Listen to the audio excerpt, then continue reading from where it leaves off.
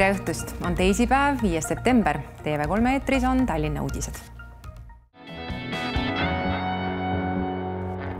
ruumipuudus on kuues Tallinna koolis jätkuvalt probleemiks, seetõttu ei saa kõik lapsed alustada õppetööga kohe hommikul. no muidugi oleks võib-olla mugavam, kui ta saaks hommikul, aga lihtsalt kuna meil oli oluline, et ta saaks käia siin koolis, me oleme ise siin käinud isaga viieteist aastaga on Tallinna kasvuhoonegaaside heitmete hulk vähenenud kakskümmend kuus protsenti.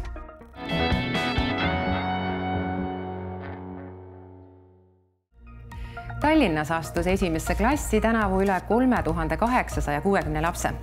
viimati läks nii palju lapsi esimesse klassi nullindate alguses see süvendab aga juba aastaid kestnud ruuminappuse probleemi ja seetõttu saavad koguni kuues koolis osa algklasside lapsi õppetööga alustada alles pärastlõunal. Tallinna Linnamäe Vene Lütseumis, kahekümne esimeses koolis, ühisgümnaasiumis, kolmekümne teises keskkoolis, Mustamäe gümnaasiumis ja Kalamaja põhikoolis algab osades klassides õppetöö alles pärastlõunasel ajal eelkõige puudutab see algklasside õpilasi. peamiseks põhjuseks, miks lapsed ei saa alustada kooliga kohe hommikul, on ruuminappus. käesoleval õppeaastal on meil ehm, õpilaste arvu rekord viimase vist nullindate algusest saati ja, ja kindlasti on mõjutanud seda ka Ukraina sõjapõgenike saabumine ja integreerimine meie koolisüsteemi kõige suurem kohtade puudus on Tallinna kesklinnas asuvates koolides Tallinna Haridusameti andmetel on järgmise aasta sügisel kesklinna piirkonnas esimesse klassi astujate arv juba ligi saja võrra suurem kui tänavu.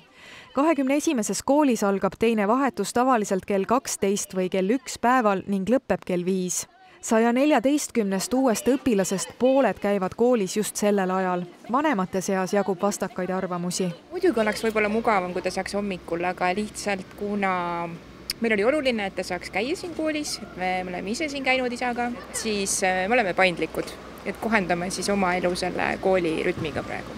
Muidugi see kõige parem nagu hommikupoole, siis õhtupoole on rohkem aega, et igasugused ringid ja ka spordiliikumised kahekümne esimese kooli ruumipuudus peaks lahenema aga tuleva aasta kevadel, mil osa klasse viiakse üle Tartu maantee kakskümmend kolm asuvasse majja.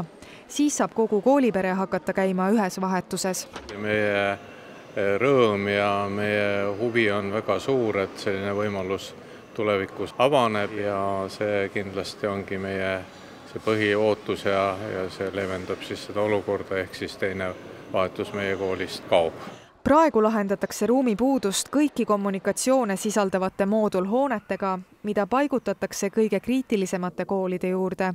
üheteistkümne kooli juures on juba moodulhooned olemas. käesoleval aastal ja õppeaastal on siis plaanis äh, paigaldada nüüd kaheksaklassiline moodul Tallinna Läänemere kooli juurde.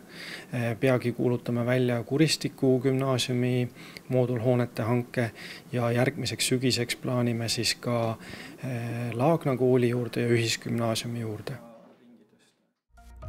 kas rohepööre toob Tallinnas soodsamad küttekulud näiteks kortermajadele? pikas plaanis peaks meil ka puhtam õhk olema täna peeti Euroopa linnapeade pakti, linnade mõjuvõimu suurendamine, rohelisele energiale ülemineku kiirendamine. seal just arutleti nii Tallinna kui ka teiste Euroopa linnade energiasektori väljakutsete ja lahenduste üle lõviosa toodetavast energiast tarbitakse ära just linnades ning seega etendavad linnad ja nende elanikud rohepöördes keskset rolli. kui linnad mõtlevad välja, kuidas me oma maju kas kütame või siis lõuna pool jahutame, kuidas me linnades liigume nii, et kütust kuluks vähem, siis, siis tegelikult äh, see muutus, mida linnad tuua saavad, on väga suur. Tallinn on teinud ju meeletu arenguhüppe, olles täna Euroopa roheline pealinn ja ka Rakvere on viimase viieteist aasta jooksul erinevate roheinvesteeringutega saanud kuskil ligi viiekümne miljoni euro juures täiendavaid investeeringuid linna arengusse ja mis usutavasti on linnapildis ka näha. mõlemad linnad on rohelisemad, energiatõhusamad ja, ja keskkonnasõbralikumad aga millised on siis Tallinna energiasektori väljakutsed ja lahendused? rohepööre ei peaks muutuma ideoloogiaks. me eelkõige peame rääkima äh, elu äh, kvaliteedist ja ka loodusest, äh, mida me säilitame ja jätame meie lastele ja need on väga selged prioriteedid ja, ja tegelikult selleks on võimalik kasutada tehnoloogiaid. Utilitas Tallinna Soojus arendab lahendust reoveest jääksoojuse kasutamiseks ning rajab esmakordselt ka majade jahutussüsteemi.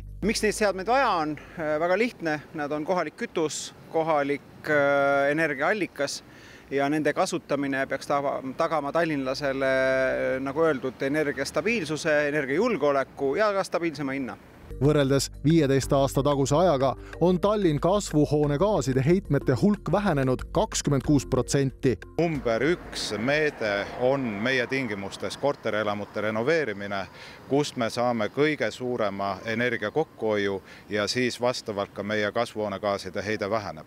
ja loomulikult taastuvenergiat tuleb ka juurde toota, nii et need hoonete renoveerimine, meretuulepalgid, need on nagu need kaks põhilist meedet, millega saab olukorda parandada ja ka transpordisektoris kütuse kasutamise vähendamine, mis siis tähendab ühistranspordi eelisarendamist.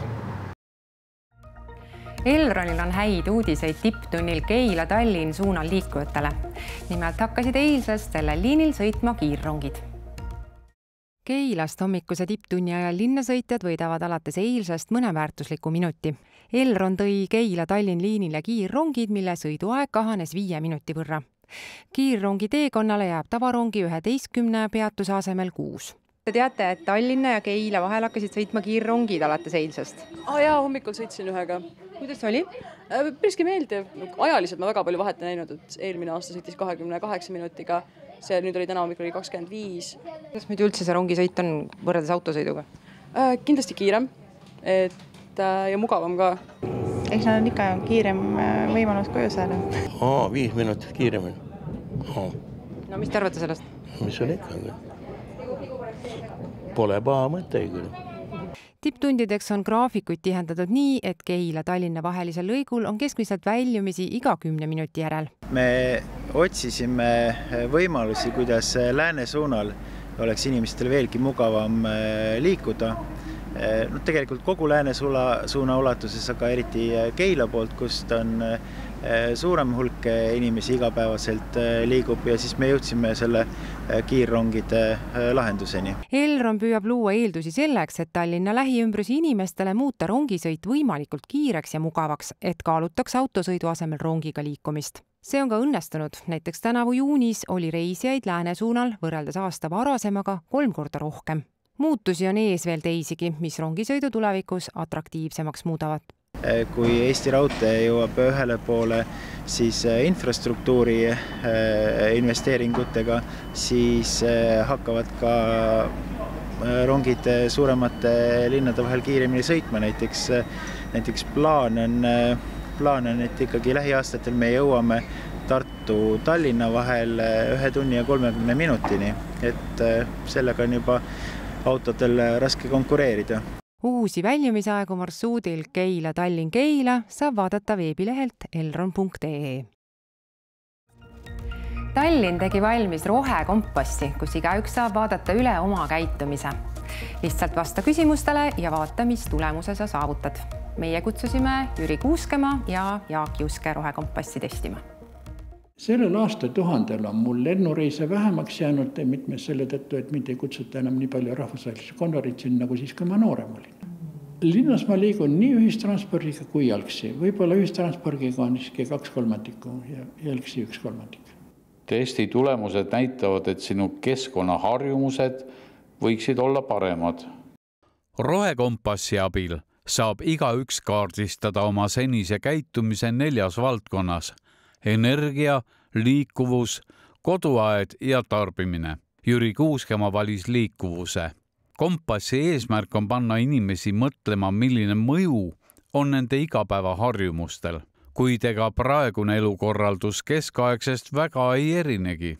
siis tekkis ju mitmesugust prahti, prügijat, elamise jääke nagu puuduhk suures koguses, transpordiks olid hobused hobusetallidesse kogunes mõndagi, peeti lehmi, sigu, kitsesid, lautadesse kogunes nii mõndagi, need olid kõige suuremad kogused, mis oli vaja välja vedada.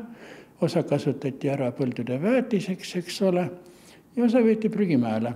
Jaak Juske valis oma teemaks tarbimise. seal oli küsimusi küll veidi enam ja puudutas muidugi tarbimisharjumusi, nagu näiteks toidu eelistus. eelistad taimset toitu lihatoodetele? mina söön ikka liha ka. eelistad kodumaist toidukaupa? jaa. kasvatad ise maitsetaimi? jaa, kusjuures. võimalusel parandad katki läinud mööblit? jaa, eriti vana mööblit. Jaak, sa oled tubli keskkonnasõber.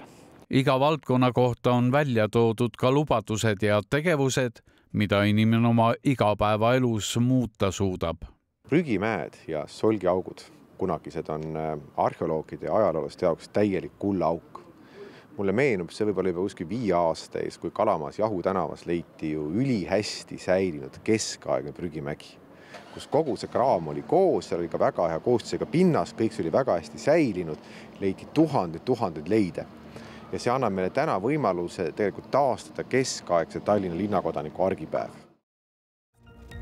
huvikeskus Kullo kutsub lapsi huviringidesse. sel sügisel alustab koolis ligi kuuskümmend erinevat eriala ning hea uudis on see, et kuni kümnenda septembrini saab esimese proovitunni tasuta kaasa teha huvikeskuse Kullos kultuuriringis ootab õpilasi ees terve vannitäis savi. savi on selline materjal, mis käte vahel voolides läheb natukene kõvemaks. Ja, ja see on siin vannitäis meil, see on hea eestimaine savi. samast savist on laste käe all valminud terve rida skulptuure, mille üldiseloomustuseks võiks olla fantaasiaküllased loomafiguurid. Meil on kaks asja, mida me õpime, me õpime käsitööd, kuidas voolida ja teha. Ja siis teiseks käsitöö ja siis äh, fantaasia, et tuleb mõelda, mitte ainult teha, aga tuleb ka mõelda, mida teha, et ta oleks äh, huvitav. mitu aastat sina siin skulptuuriringis oled käinud juba? Äh, praegu tuleb teine aasta. ja miks sa siin käid? sest siin on, siin saab skulptuure teha, siin on hästi tore, sest siin on sõpru ka kõrvaltoas on aga alanud esimene keraamikatund, mida juhendab viiskümmend aastat Kullos töötanud keraamik Aino Arumäe. mida te neile õpetate siin keraamikatundides? Kuidas mõelda, kuidas lahendada savist töid, kuidas hoida distsipliini Need on ainult paar näidet Kullo ligi kuuekümne erineva huviringi seast. samas on võimalik ka õppida maalimist, tegeleda robootika, tantsimise või laulmisega. muuseas, kümnenda septembrini on lapsel võimalus esimeses tasuta proovitunnis ise järele proovida, milline eriala kõige paremini sobib proovitunnid on olulised selle jaoks, et iga noor leiaks siis endale selle sobiva huviringi ja sobiva õpetaja et tema siis teekond huvihariduses oleks võimalikult motiveeriv ja rõõmupakkuv. Äh, täpsema info leiab meie kodulehelt huvikeskus Kullo on ka uue maja ootel, mille ehitus peaks lähiaastatel algama. seni toimub õppetöö huviringides veel viimast aastat vanas majas aadressil Mustamäe tee viiskümmend üheksa. Suvi kestab veel, lähipäevil on oodata lausa kakskümmend viis kraadi sooja. milliseks ilm kujuneb, vaatame ilmaprognoosist eeloleva öö hakul on pilves selgimistega ja peamiselt sajuta ilm. pärast keskööd pilved hõrenevad. õhutemperatuur jääb kümne ja kaheteistkümne kraadi vahele. homme päeval on päikesepaisteline ja sajuta ilm. sooja tuleb kuusteist kuni kaheksateist kraadi. Öösel vastu neljapäeva on selge või vähese pilvisusega sajuta ilm. õhutemperatuur on kuus kuni üheksa kraadi neljapäeval on selge ja vähese pilvisusega sajuta ilm ja sooja tuleb seitseteist kuni üheksateist kraadi öösel vastu reedet on vähese ja vahelduva pilvisusega olulise sajuta ilm. õhutemperatuur on kaheksa kuni üksteist kraadi. reedel tuleb muutliku pilvisusega ilm, võib sadada vähest vihma ja sooja on reedel kaheksateist kuni kakskümmend kraadi sellised olid Tallinna uudised teisipäeval, viiendal septembril. kõiki meie lugusid saab järele vaadata veebilehel pealinn.ee mina tänan teid vaatamast, kohtumiseni taas homme õhtul kell kaheksateist viisteist ikka TV3-s